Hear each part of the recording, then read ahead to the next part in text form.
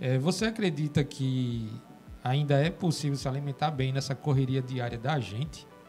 Sim, é, é difícil, eu sei que é difícil, mas sempre tem estratégias que dá para a gente alcançar. E é justamente essa liberdade de você entender o que é que é melhor, tanto para se nutrir quanto para lhe dar prazer com a alimentação, que as pessoas precisam ter. Que, a questão é que a gente desaprendeu. A gente desaprendeu como é comer saudável, uhum. né? De forma prazerosa. Porque justamente por isso, por todos esses estímulos, por toda a correria, por todas as oportunidades.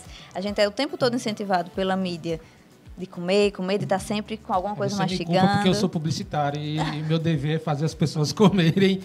Se o caso meu cliente for da área alimentícia, ou de bebida. É, também tem isso. É. Mas assim, da questão da indústria alimentícia em si, de uhum. realmente estar tá estimulando isso, isso mexe né, com a cabeça da gente. Então, são muitos estímulos, mas eu acredito sim que é possível. Tem as dificuldades, mas ao mesmo tempo, hoje, é, mesmo tendo a parte dos industrializados, dos congelados, por exemplo, já prontos, uhum. também tem. Aqui em União não tem tanto, mas já está começando a ter. Já por exemplo, vegetais já cortados, às vezes você tá, você não tem como ir para casa. Mas você, você não tem uma cozinha, você não tem. Às vezes até frutas já cortadas, você pega um iogurte integral, natural. E aí você já coloca uma fruta. É, eu sempre, sempre apelo para o lado, por exemplo, eu acho que eu falei para você aqui antes, tem um espetinho. Uhum. É carne, vai, né, tem os aminoácidos que você vai, vai precisar.